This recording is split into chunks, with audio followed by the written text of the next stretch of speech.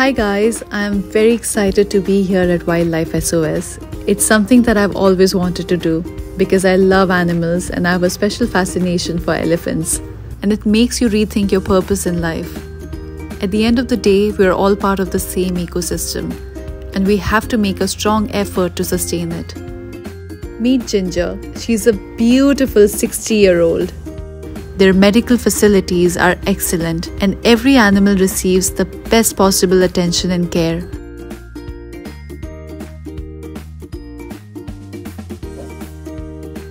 My god, that is a filer now. My mom will be so proud of me. Hands away. Like it's very clear that uh, someone can do a better job.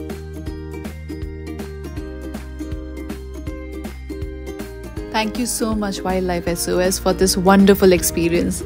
I'm grateful to have had the opportunity to be in the presence of these beautiful animals and to know about their stories, which have inspired me to do better towards animals.